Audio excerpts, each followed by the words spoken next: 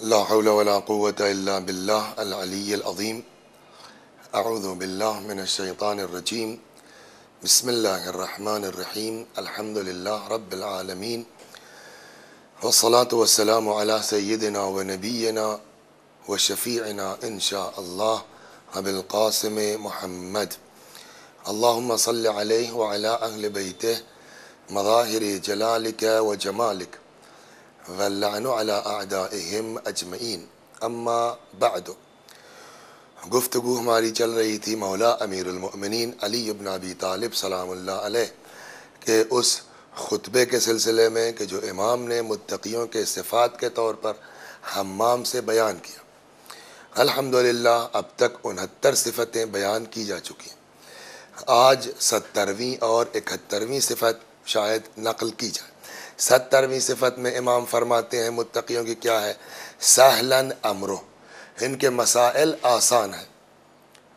ان کے امور آسان ہیں۔ کسی سے قرض لے لیا ہے، کسی کو قرض دے دیا ہے، اس سے قرض واپس لینا ہے سختی نہیں کرتے۔ کہیں سفر پہ جانا ہے، بعض لوگ ہوتے ہیں کہ ایک سفر پہ جانے کے لیے گھنٹوں تیاری کرنی پڑتی۔ نہیں، یہ آدمی دو جوڑے کپڑے لیا، چل پڑتا۔ سہلن امرو، ان کے مسائل آسان ہیں۔ اور جو شخص اس کائنات میں اپنی زندگی کو آسان بنائے گا، آخرت میں بھی اس کے لیے آسان ہے۔ مثلا کسی نے ہم سے قرض لیا ہے، بیچارہ وقت پر نہیں دے پا رہا ہے، متقی اس سے سختی نہیں کرتا ہے۔ سہلن امرو، اس کا مسائل آسان ہے چنانچہ کہتے ہیں کہ اگر کوئی شخص یہاں سختی کرے گا کسی کے ساتھ، تو کل کو قیامت میں اللہ حساب میں اس سے سختی کرے گا۔ جس کو سوء الحساب، قرآن مجید نے بھی سوء الحساب کہا ہے۔ سوء الحساب کا مطلب یہ نہیں ہے کہ برے طریقے سے حساب ہوگا۔ نہیں سوء الحساب کا مطلب جیسے ہم کسی کو قرض دیتے ہیں اور جب تک ایک ایک پیسہ واپس نہ لے لیں، تب تک اس کی جان نہیں چھوڑتے ہیں۔ اگر ہمارے اندر یہ مزاج ہوگا، تو کل کو میدان قیامت میں بھی جب حساب ہوگا، تو ایک ایک چیز کا پروردگار عالم حساب کرے گا۔ لیکن اگر اس دنیا میں ہم نے لوگوں کے ساتھ سہل انگاری سے کام لیا، نرمی سے کام لیا، تو پروردگار عالم کل کو قیامت میں بھی ہمارے ساتھ نرمی سے برتاؤ کرے گا۔ جو کچھ اس دنیا میں ہم کر رہے ہیں، اس کا اثر قیامت میں پڑے گا۔ حتیٰ مذاق کے لیے ہے کہ کچھ لوگ لوگوں کا مذاق اڑاتے ہیں۔ مذاق کرنا بری بات نہیں ہے۔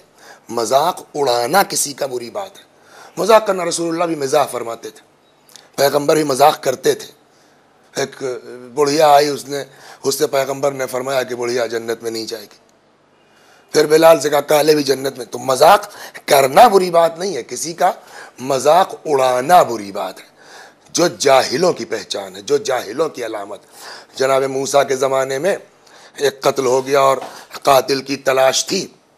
لوگ آئے حضرت موسیٰ علیہ السلام کے پاس کے بتائیے، کیا کیا جائے؟ کیسے قاتل کو تلاش کیا جائے؟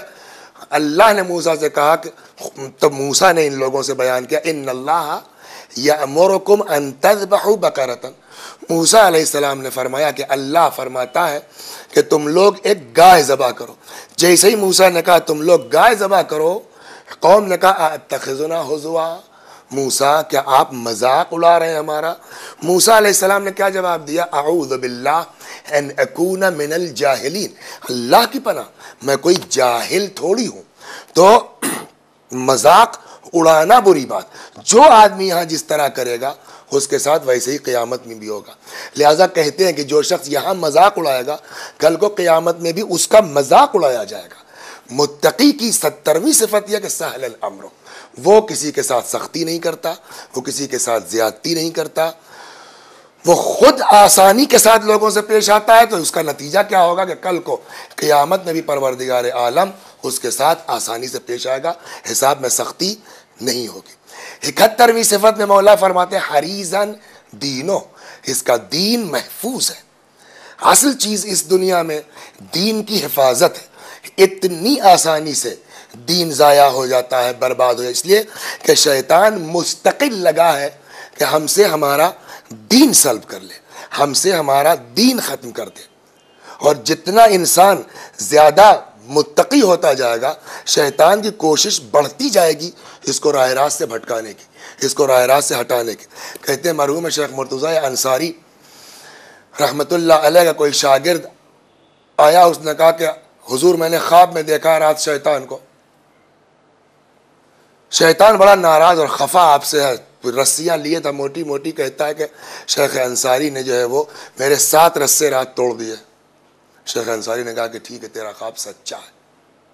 کیا مطلب؟ کہ کل میری بیوی کے یہاں ولادت ہونے والی تھی، میرے پاس پیسہ نہیں تھا۔ کچھ امانت میرے پاس رکھی تھی۔ جب بیوی کو تکلیف بڑھتی تھی تو دل میں آتا تھا کہ اس امانت سے قرض لے لوں اور اس وقت علاج کروا دوں، پھر انشاءاللہ اس میں رکھ دوں گا۔ ہاتھ بڑھاتا تھا، احساس ہوتا تھا اگر ادا کرنے سے پہلے مر گئے تو کیا ہوگا؟ ایک، دو بار جیسے ہی ذہن میں آتا تھا، واپس آ جاتا تھا، پھر تکلیف بڑھتی تھی، پھر بڑھتا تھا۔ یہاں تک کہ سات مرتبہ میں نے ارادہ کیا کہ اس تھیلی سے قرض لے لوں، بعد میں رکھ دوں گا۔ لیکن الحمدللہ ہر مرتبہ خدا نے مدد کی۔ میرے ذہن میں یہ خیال آتا تھا کہ ادائیگی کے پہلے مر گئے تو کیا ہوگا؟ میں نے اس میں سے نہیں لیا اور ولادت بھی آسانی سے ہو گئی۔ تو حریزن دین و متقی کو ہر چیز سے زیادہ اپنے دین کی فکر ہوتی ہے۔ وہ دین کی حفاظت کرتا ہے۔ ورنہ دین کے خریدار اس کائنات میں بہت ہیں۔ دین کے خریدار اس دنیا میں بہت ہیں۔ ہارون الرشید کے زمانے کی داستان ہے۔ ایک شخص بیان، یہ یہ داستان مرحوم شیخ صدوق رحمت اللہ علیہ رضوان اللہ علیہ نے حیون اخبار رضا میں نقل فرمائی ہے۔ مرحوم علامہ مجلسی رحمت اللہ علیہ نے بہار میں نقل فرمائی ہے کس سے عبید اللہ بزاز نیشا پوری عبید اللہ بزاز کہتا ہے کہ میرے اور حمید ابن قہتبہ کے درمیان کچھ دوستانہ تو جو والی خراسان تھا۔ عبید اللہ کہتا ہے کہ والی خراسان حمید ایک دن اس نے مجھ کو بلوایا۔ دوستانہ تھا مجھ سے۔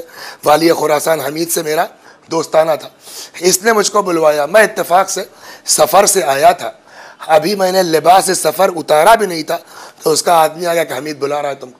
میں اسی لباس سفر میں اس کے پاس پہنچ گیا۔ رمضان کا مہینہ تھا۔ کس طرح سے آدمی اپنا دین بیچتا ہے۔ رمضان کا زمانہ تھا۔ میں حمید کے پاس پہنچا۔ اس نے میرا بھی ہاتھ دلوایا، خود بھی ہاتھ دھلا، دسترخوان بچھایا گیا۔ بیٹھ گئے، کہا، بسم اللہ۔ میں نے کہا، بھیا، رمضان کا زمانہ ہے۔ ماہ مبارک ہے رمضان ہے، میں نہ مسافر ہوں، نہ میں مریض ہوں، بلا وجہ میں روزہ تھوڑی توڑ سکتا ہوں اپنا۔ میں روزے سے ہوں۔ عبداللہ کہتا کہ حمید نے مجھ سے کہا کہ اتفاق سے میں بھی روزے سے ہوں۔ میں میں بھی جانتا ہوں کہ رمضان ہے اور میں بھی صحت مند ہوں۔ میرے اندر بھی کوئی بیماری نہیں ہے۔ لیکن میرے ساتھ ایک ایسا واقعہ گزر چکا ہے کہ اب میں سوچتا ہوں کہ روزہ رکھنے سے فائدہ ہی کیا ہے۔ کیا مطلب؟ کہ ایک دن مجھ کو ہارون الرشید نے رات میں بلوایا۔ غلام آیا، اس نے مجھ سے کہا کہ ہارون الرشید تم کو طلب کر رہا ہے۔ چلو، میں آیا۔ ہارون الرشید کے سامنے جیسے ہی رات میں پہنچا، اس نے مجھ سے سوال کیا، تم مجھ کو کس حد تک مانتے ہو؟ میری حیثیت تمہارے نزدیک کیا ہے؟ میں نے اس کو جواب دیا کہ میں اپنے مال سے زیادہ آپ کو پسند کرتا ہوں، آپ سے محبت کرتا ہوں، آپ کو چاہتا ہوں کہ جاؤ۔ گھر گیا، تھوڑی دیر لیٹا تھا کہ پھر خادم پہنچا کہ چلو ہارون تجھ کو بلا رہا ہے۔ پھر میں آیا کہ کس حد تک تم مجھ سے محبت کرتے ہو؟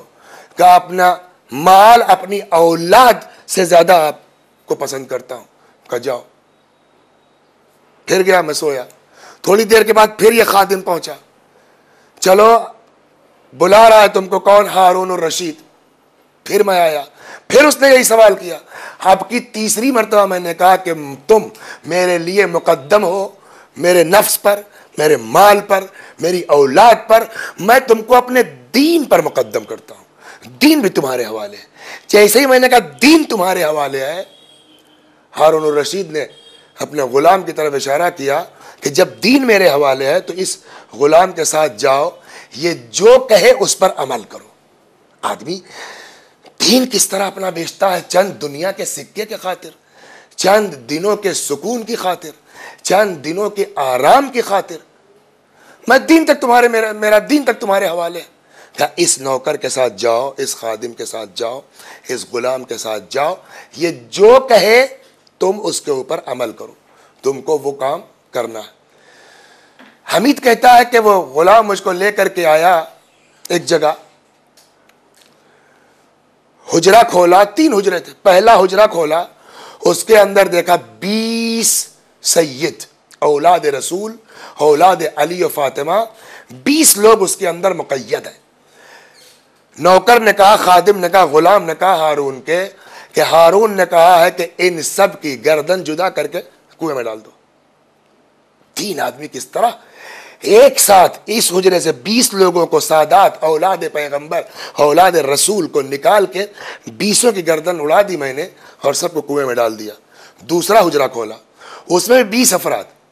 ان بیسوں کو بھی نکال کر کے سادات، اولاد رسول ان کی گردن اڑا کے لاش کنویں میں پھینک دی۔ تیسرا حجرہ کھولا۔ اس میں بھی بیس افراد تھے۔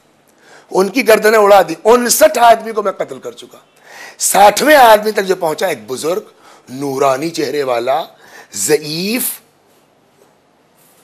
اس کو جب قتل کرنے جا رہا تھا تو اس بزرگ نے کہا کہ آج ہم کو قتل کر لو تم۔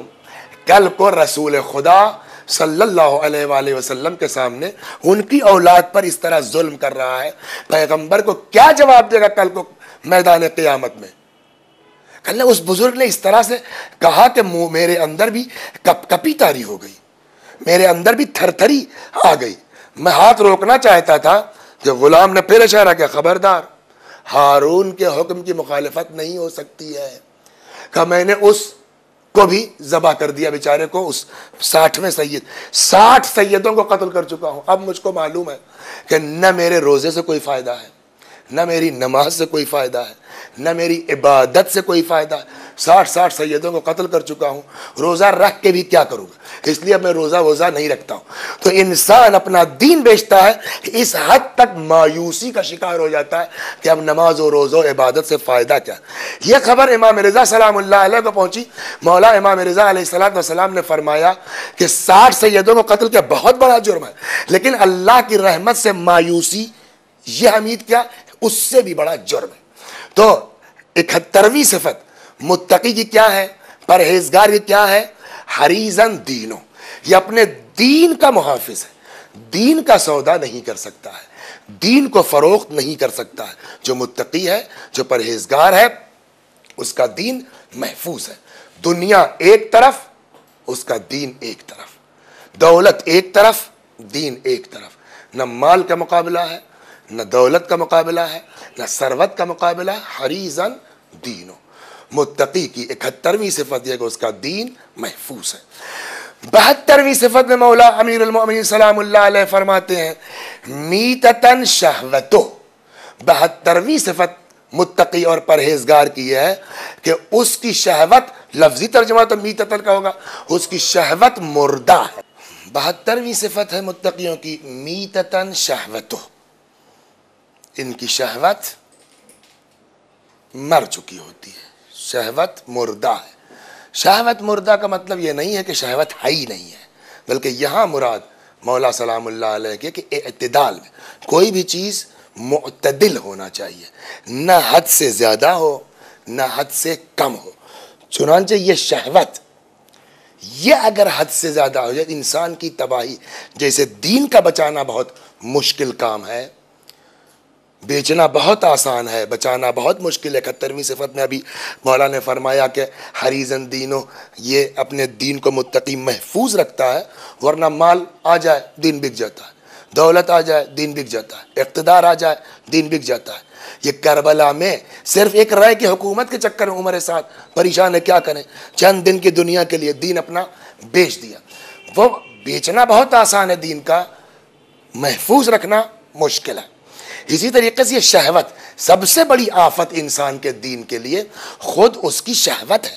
چنانچہ پیغمبر اسلام صلی اللہ علیہ وآلہ وسلم فرماتے ہیں، سلاسن علی امتی بعدی تین چیزوں کا خوف مجھ کو اپنی امت کے لیے ہے، اپنے بعد۔ اپنے بعد، اپنی امت پر تین چیزوں کا خوف مجھے ہے۔ کیا؟ الزلالہ بعد المعرفہ۔ معرفت کے بعد گمراہی۔ میرے بعد یہ گمراہ نہ ہو جائیں ومضلات الفتن و شہوت البطن والفرج۔ تیسری چیز، پیٹ کی شہوت اور شرمگاہ کی شہوت۔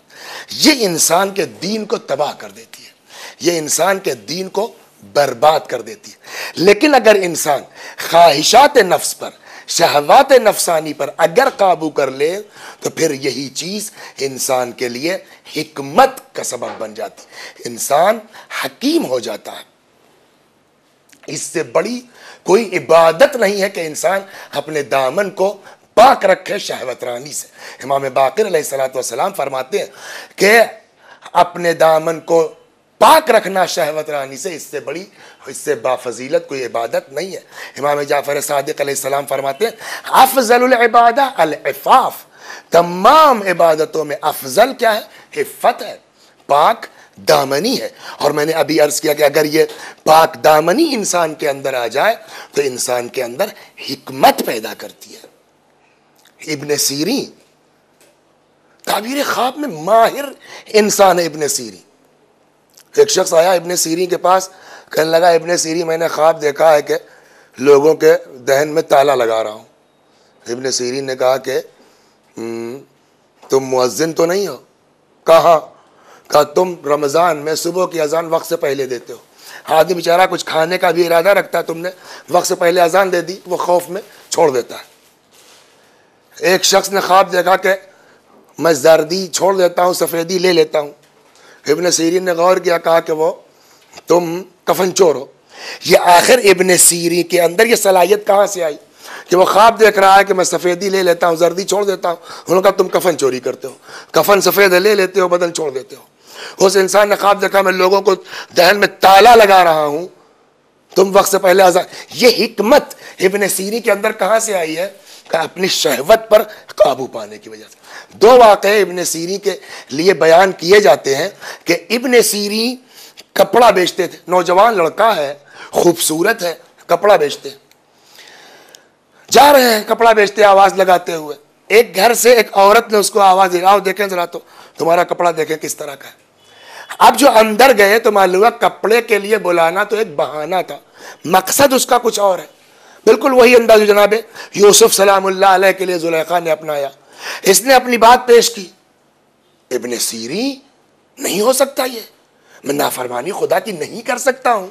اس عورت نے کہا، اگر تم میری بات نہیں مانو گے، میری اطاعت نہیں کرو گے، ابھی میں شور کرتی ہوں۔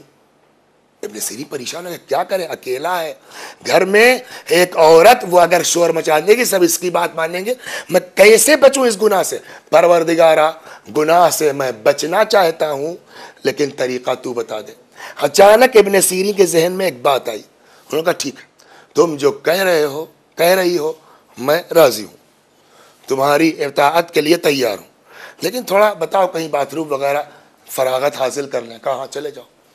اب جو وہ وہاں پہنچے، تو پرانے زمانے میں آج کی طرح سے فلش تو نہیں ہوتا تھا۔ غلازت وہاں موجود تھی۔ ابن سیرین، کوئی آدمی کر نہیں سکتا ہے اس قدر۔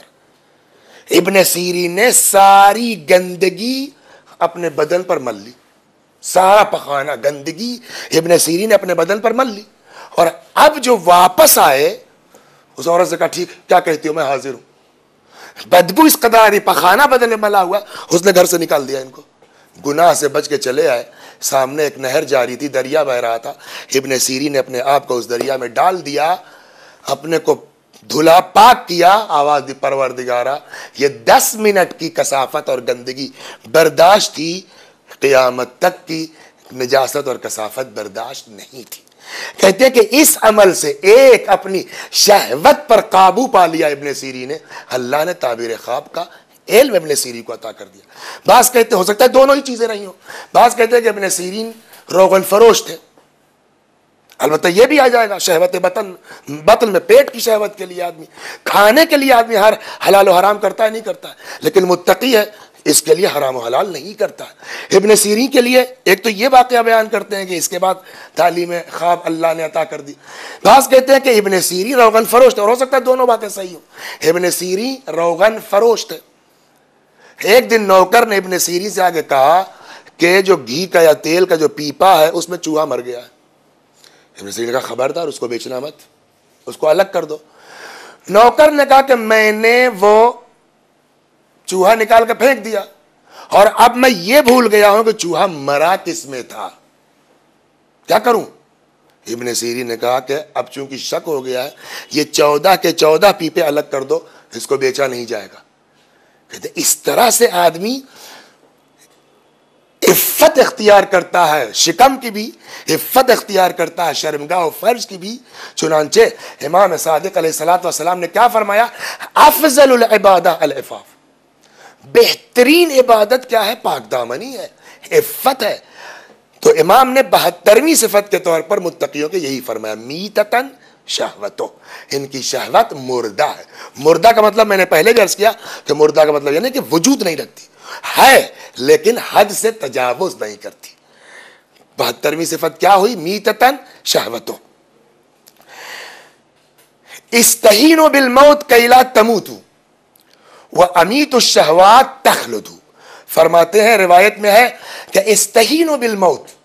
موت کو ہلکا مت سمجھو تاکہ مرو نہ، تاکہ موت تم کو نہ، موت کو ہلکا سمجھو تاکہ تمہیں موت نہ آئے۔ وہ امیت الشہوات تخلدو، شہوت کو مار ڈالو تاکہ دائمی ہو جاؤ، تاکہ ہمیشہ ہو جاؤ۔ کرین الشہوہ، مریض النفس، جس انسان کے اندر شہوت پائی جاتی ہے، اس کا نفس مریض ہے، وہ بیمار ہے۔ معلول العقل، اس کے پاس عقل نہیں ہے۔ جو آدمی امام فرماتے ہیں کرین الشہوہ، مولا علی سلام اللہ علیہ فرماتے ہیں کرین الشہوہ، جو شہوت کے قریب ہے، وہ کیا ہے؟ مریض ہے، بیمار ہے۔ عقل کم ہے، کیوں؟ اس لیے کہ شہوت کتنی دیر کی ہے؟ دو منٹ، چار منٹ، دس منٹ۔ یہ تو شرمگاہ کی شہوت ہوئی۔ پیٹ کی شہوت، کھانے کی شہوت کتنی دیر کی ہے؟ دو منٹ میں آدمی نے ساری لذت ختم ہو جاتی ہے، لیکن حرام اور اس کی سزا باقی رہتی ہے۔ عقل کیا کہتی ہے؟ کس چیز کو انسان کو اختیار کرنا چاہیے؟ کس چیز کو انسان کو قبول کرنا چاہیے؟ وہ جو دائمی ہے، وہ بہتر ہے، یا جو وقتی ہے، وہ بہتر ہے۔ شہوت دو لمحے کی ہے، ختم ہو جانے والی ہے۔ اس کا گناہ دائمی ہے، ہمیشہ ہے۔ اگر انسان اس سے اپنے آپ کو پرہیز کر لے جائے، جناب یوسف کی داستان، شاید پروردگار عالم نے قرآن مجید میں اسی لیے نقل کی ہے کہ دنیا پڑھے کہ انسان اگر شہوت سے اپنے آپ کو بچا لے جائے تو وہ بادشاہ ہو سکتا ہے، وہ حاکم ہو سکتا ہے۔ کرین الشہوہ مریض النفس۔ امام فرماتے ہیں کہ جو شہوت سے قریب ہے، اس کا نفس بیمار ہے، اس کا نفس مریض ہے۔ آج جس دن کے یہ تقریر ٹیپ ہو رہی ہے، ولادت کی تاریخ ہے، امام موسم نے جعفر، امام کاظم سلام اللہ علیہ کی۔ حضرت کی تاریخ بھی یوسف سے بڑھ کر کے ہے۔ باقاعدہ کنیز بھیجی گئی ہے قید خانے میں امام کاظم سلام اللہ علیہ کے لیے کہ میں آگے اور نہیں کہہ سکتا۔ لیکن امام علیہ السلام کا عالم کیا کہ جس کنیز کو بھیجا گیا ہے حضرت کی خاطر، وہ کنیز اتنی متاثر ہوئی ہے امام موسیٰ قاظم علیہ السلام سے کہ جب لوگوں نے آ کر کے دیکھا تو وہ کنیز الٹے خود سجدہ الہی میں تھی۔ خود دعا اور عبادت میں مصروف تھی۔ جب انسان اللہ کا ہو جاتا ہے، تو نہیں ہے کہ وہ اپنی شہوت پر قابو پاتا ہے، بلکہ اس کا نفس اتنا پاک ہو جاتا ہے کہ اگر کوئی شخص اس کو گمراہ کرنے کے لیے بھی آنے کی کوشش کرے، تو بجائے اس کے کہ اس کو گمراہ کرے گا، خود رہے ہدایت پایا جاتا ہے۔ چنانچہ امام کاظم سلام اللہ علیہ کی داستان میں یہ ہے۔ بہترویں صفت ہماری یہی ہے، بحق اہل بیت علیہ السلام بحق مولا امیر المؤمنین سلام اللہ علیہ، اللہ ہم کو توفیق عنایت فرمائے کہ ہم شہوت پر قابو پا سکیں۔ میتتن شہوتوں۔ تہترویں صفت کہ انشاءاللہ وقت دھیرے دھیرے کم ہو رہا ہے، اس کی تفصیل بعد میں آئے گی۔ ذرا سا اشارہ کر دے تہترویں صفت کی کہ امام فرماتے مکزومن غیزو متقی کا غصہ، متقی کا غیز مکزوم ہوتا ہے۔ کازم الغیز قرآن نے بھی تعریف کی ان لوگوں کی جو غصے کو پی جاتے ہیں۔ والکا زمین الغیز والعافین عن الناس۔ جو غصے کو پی جاتے ہیں اور لوگوں کو معاف کر دیتے ہیں۔ تہترویں صفت متقی کی، پرہیزگار کی قزم غیز ہے کہ وہ کسی کے اوپر غصہ اول نہیں کرتا اور اگر غصہ آتا بھی ہے تو اس کو پی جاتا ہے قزم کرتا ہے۔ پروردگار عالم ہمیں توفیق عنایت فرمائے کہ انشاءاللہ اس قزم غیظ کے اوپر اگلی تقریر میں کل تفصیل کے ساتھ گفتگو کی جائے گی۔ پروردگار عالم، مولا امیر المؤمنین کے فرمان کے مطابق ہم سب کو عمل کی توفیق عنایت فرمائے۔ وآخر دعوانا ان الحمدللہ رب العالمین۔ والسلام علیکم ورحمۃ اللہ وبرکاتہ۔ امیر المؤمنین، مولا علی علی۔ من کیم حبل المتینم من کیم حق الیقینم من کیم باب المرادم من کیم فتح المبینم من کیم فتح المبینم من کیم فتح المبینم.